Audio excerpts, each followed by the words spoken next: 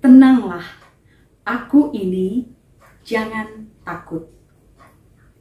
Shalom, selamat sore Bapak Ibu dan saudara-saudari yang terkasih di dalam Tuhan kita Yesus Kristus. Hari ini kita mau bersama-sama merenungkan Yesus sebagai sahabat seperjalanan kita, Yesus sebagai sahabat bagi orang yang putus asa Hal ini dapat kita baca, kita lihat dalam Injil Matius bab 14 ayat 22 sampai 33. Di mana dikisahkan Yesus yang berjalan di atas air menemui para murid yang kapalnya diombang-ambingkan gelombang karena angin sakal.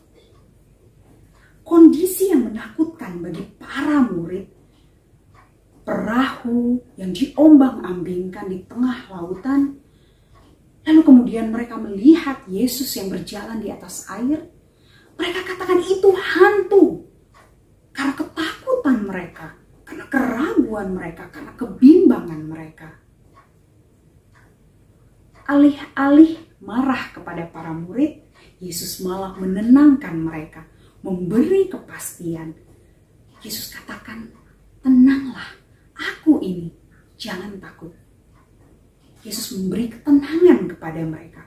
Yesus memberi kepastian. Bapak, Ibu, dan saudara-saudari yang terkasih, kondisi para murid ini sering sekali kita alami dalam kehidupan kita. Kita bimbang, kita takut, kita ragu. Padahal kita sudah tahu, kita percaya bahwa Yesus adalah juru selamat kita bahwa Yesus selalu ada untuk kita. Tetapi sering sekali keraguan itu menyelip di dalam hati kita. Kita seperti Petrus yang dalam Injil ini dia katakan kepada Yesus, Tuhan, kalau betul itu engkau, suruhlah aku datang kepadamu berjalan di atas air. Apa kata Yesus? Datanglah Petrus sudah berjalan di atas air dan angin bertiup kencang, dia mulai ragu, dia mulai bimbang, dan akhirnya hampir tenggelam karena keraguannya sendiri. Bapak, ibu, dan saudara-saudari yang terkasih, sering sekali dalam kehidupan kita, kita merasa, "Kenapa Tuhan tidak membantu saya?" Tuhan sudah tahu saya sedang susah. Tuhan tahu saya sedang sedih. Tapi mana pertolongan Tuhan? Mulai keraguan itu datang kepada kita. Apalagi dalam kondisi pandemi saat ini, di mana kita semua mengalami ketidakpastian. Kita mengalami ketakutan. Takut akan terkena virus, terkena penyakit. Takut akan dampak pandemi terhadap usaha kita, pekerjaan kita, bahkan perkembangan anak-anak kita. Tetapi Tuhan sudah janji.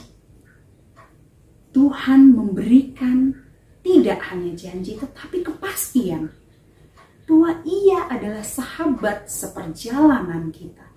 Apa artinya sahabat seperjalanan? Sahabat adalah orang yang selalu ada untuk kita dalam keadaan apa pun. Sahabat adalah orang yang bersifat reflektif. Refleks. Ketika kita jatuh, dia akan membantu kita, mengangkat kita.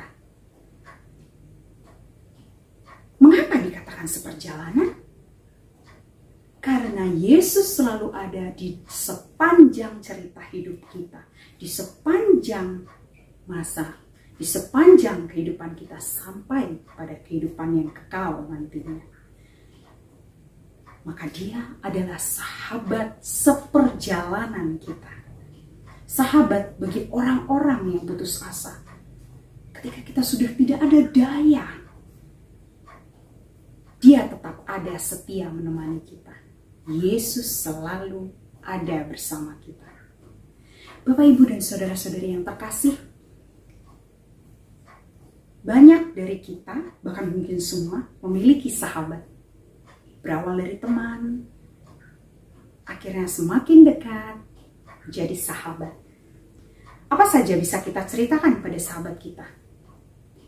Kita memberikan pujian, kritik untuk membangun, bahkan mungkin marah kepada sahabat kita.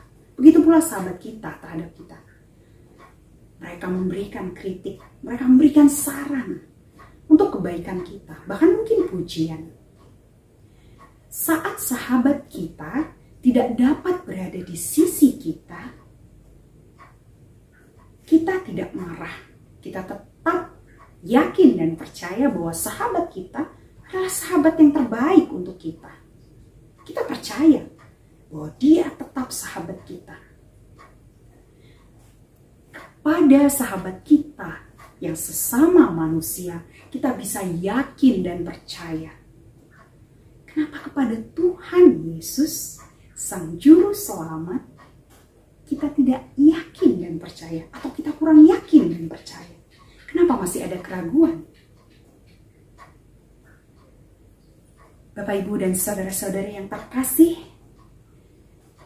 marilah kita semakin yakin, semakin menumbuhkan kepercayaan kita, keyakinan kita terhadap kasih Yesus sang sahabat sejati. Dan marilah kita menjadi sahabat bagi siapa saja, terutama bagi mereka yang berputus asa. Hari ini kita boleh katakan kepada sahabat kita, "Hai sahabatku, aku mengasihimu seperti kasih Yesus sang sahabat sejati kepadaku.